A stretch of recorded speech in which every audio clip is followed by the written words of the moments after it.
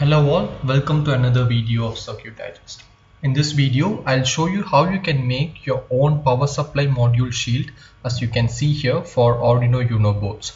So as you can see, this shield fits over your Arduino Uno and can provide various supply voltages like 12 volt, 5 volt and 3.3 volt that is commonly required for your Arduino projects to power your sensors or your actuators. So let's get started. This is the circuit diagram for the module that I showed you and this is the PCB layout.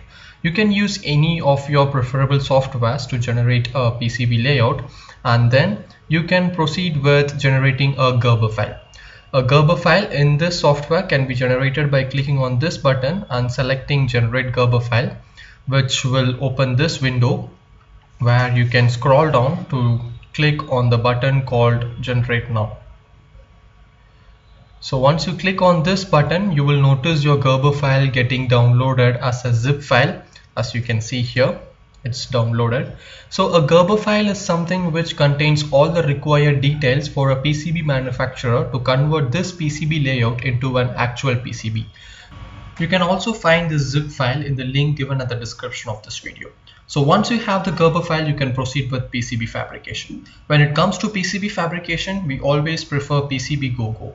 So let's take a look at PCB GoGo first. So you can just open your browser and get into their website.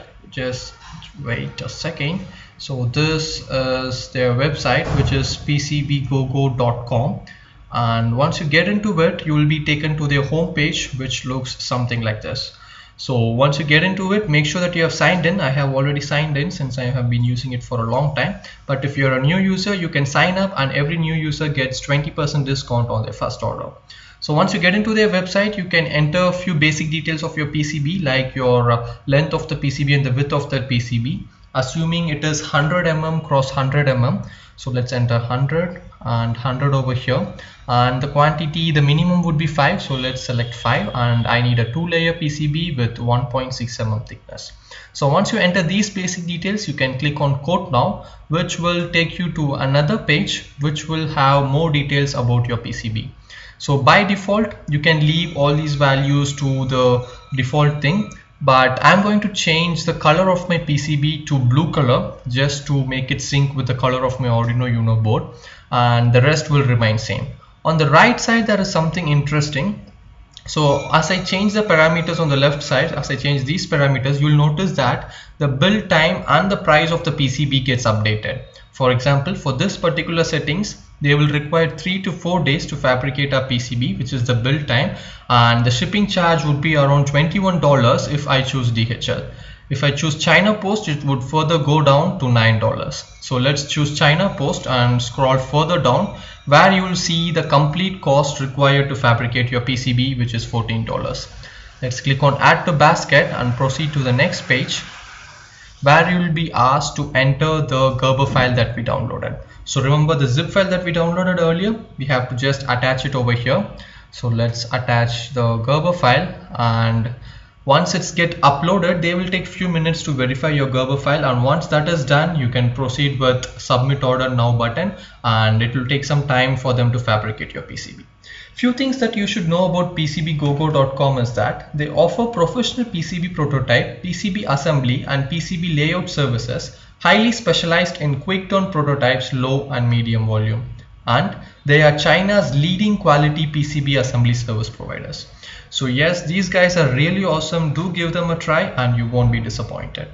So after a few days, the PCBs reached my home in a neatly packaged box.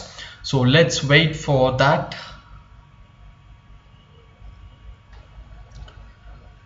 And here we go. Here is the box that I told you earlier. As you can see, it says China Post. So let me open it with my scoring blade here and as you can see the PCBs are neatly bubble wrapped inside we have two PCBs the green one which I will tell you what it is for but we won't be using it in this project and the blue one which is actually our power supply shield so let's remove the rubber band and if you remember we ordered five PCBs and we have received five PCBs here. So everything looks good so far as always. So the drills the pads the wires everything looks perfect. And as you can see the quality of the PCB is also good both of them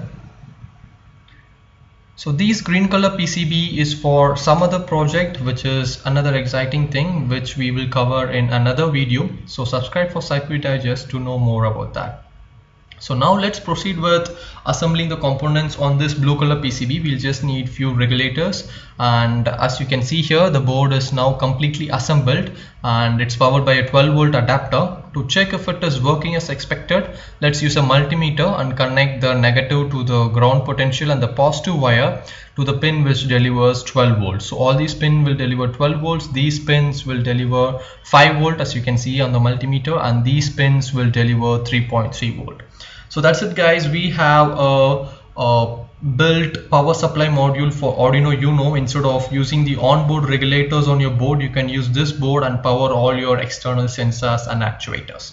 So that's it guys. Thanks for watching